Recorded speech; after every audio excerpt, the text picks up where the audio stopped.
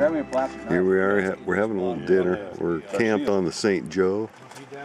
Beautiful little parking spot here. Uh, there's Billy. Oh, he's got a plate of food. Yeah.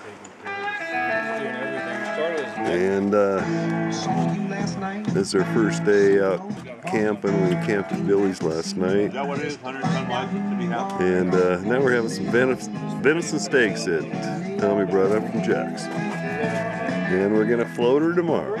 So they're in uh, Key West? More to come.